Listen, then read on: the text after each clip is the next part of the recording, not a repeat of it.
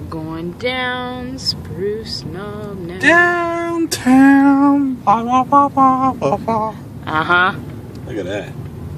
That's pretty That's West Virginia. awesome. West Virginia is the best state ever. Ever.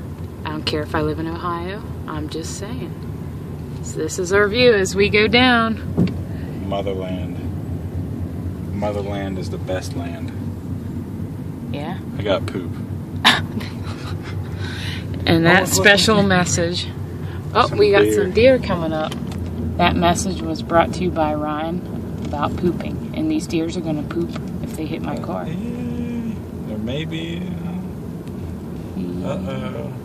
Get up there. Okay, I'm going to shut this off. More video to come.